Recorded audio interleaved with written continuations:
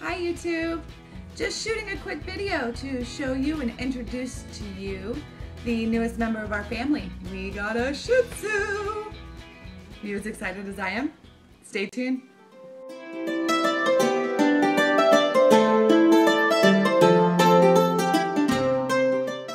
Hey YouTube! Mama Lee with Lee Family Homestead. I have a new somebody I want to introduce you to. This is Sir Momo. His full name's Moose, but we call him Momo. He's roughly eight months old. I don't know why I'm using his paw to talk to you. His paw's so freaking cute. Like I said, he's a Shih Tzu. His name's Momo. He loves trains. It's actually what he's staring at right now. I'm using my window for natural sunlight and there's a train going by. And he is so intrigued with it right now.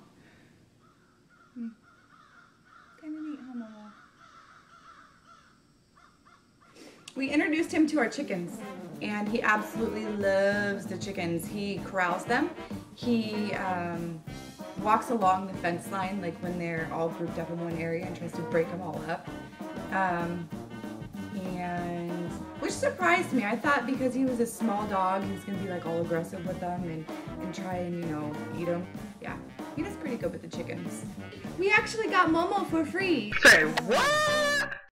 There was a lady, a wonderful lady, who um, lives next door to my sister, and she had bought Momo as a puppy and found out she's allergic to him.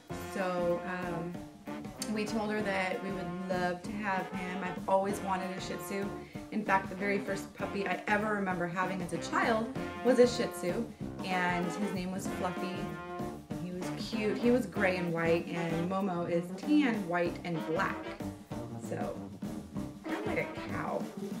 We haven't done a video in a while, and I'm sorry for that. We've been kind of busy. Um, my husband got a new job, so he's been doing that. But I just wanted to do a quick video and introduce you to Momo.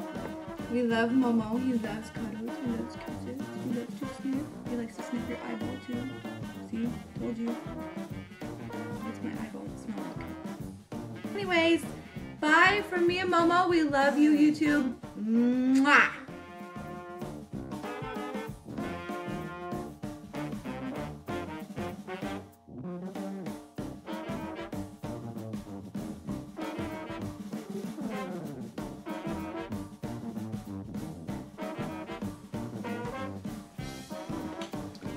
Hey YouTube, this is uh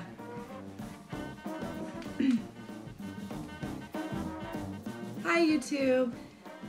Um